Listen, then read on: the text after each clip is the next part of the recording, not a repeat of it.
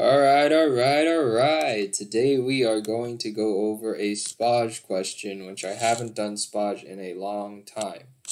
And the reason why is because, I don't know, I just don't like reading the problems. The problem statements are too long. But I'll, I'll get over that sooner or later. But yeah, we're going to go over the next Spoj question. I think it was... Uh, it's actually 1.30 a.m. right now. And I am going to go over the Spoj question before I go to bed and take a shower and go to bed. And uh, da, da, da, why why is this taking so long? Booyah. Okay, hold up.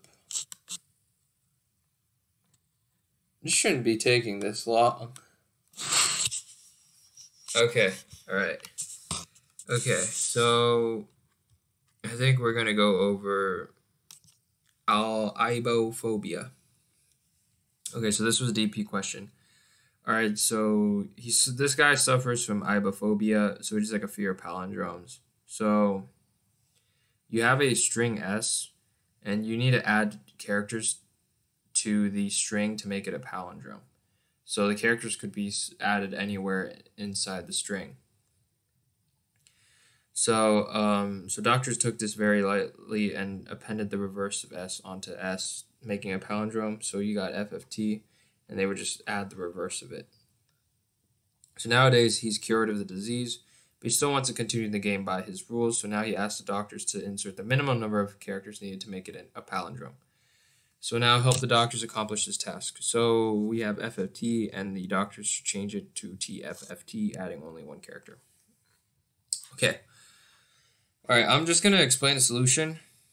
Um, it requires a the uh, a similar problem called longest uh, palindrome subsequence, and uh, yeah, I'll just explain the solution because I actually don't remember doing this. Okay, all right. Um, so first of all, there's a there's something called longest contiguous uh, uh, longest contiguous uh, subsequence, I believe. Yeah, yeah. Hold up. Um, let me just go back real quick. So there's something called a longest. Uh, yeah, longest palindrome subsequence. Longest palindrome subsequence, which is basically the algorithm that you need to solve this question. So what did I do first? First, I took read in the string S, and then I reversed the string of this S.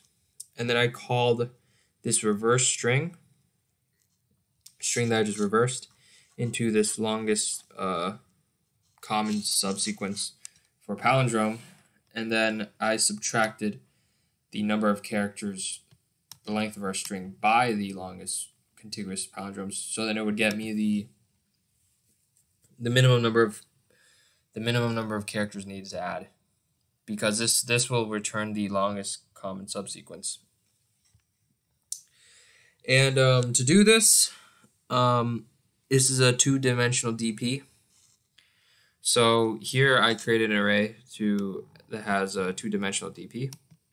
And what I'm doing is I'm just going to loop through, basically I'm looping through through the two-dimensional DP. Okay, um, if this part is if the if we're both at the end of the string, right? At both of the end of the string, then the common subsequence for the both of them is zero. Right? Because this means that both of the string is empty. Right? So I represents like the current index at the first string, and uh, J represents the index of the second string. So if both of them are like at the end of the string or the beginning, right? Um, they're they're basically zero because they're not. There's no common. Right. There's no common sequence for it. Okay. Okay. Now this is a, a little tricky part. So now if the last character of what you're pointing at for both of these strings are the same, right? So let's say I'm at the last character and they're both the same. then what I'm going to do is I'm going to just increase 1 because uh, that means that I'm increasing 1 as the same common character, right? So the remember I'm I'm getting longest common subsequence, and I'm just increasing 1 for the same character. That's essentially what I'm doing. So here Rij is going to equal to the previous count of the previous uh, previous count for the number of characters that are the same at the previous uh, indexes of the both of the two strings, right? So I represents, remember I represents the index we're going through of the first string and J represents the index of the character of the second string. So if they're both the same, then we're just going to increment 1 to, uh, to the previous number of characters at both of them. Otherwise,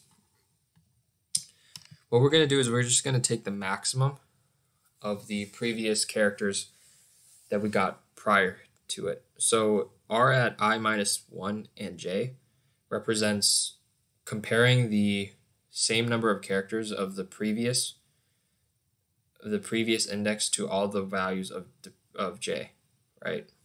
Of the previous um, characters that are similar with uh, j and i minus 1.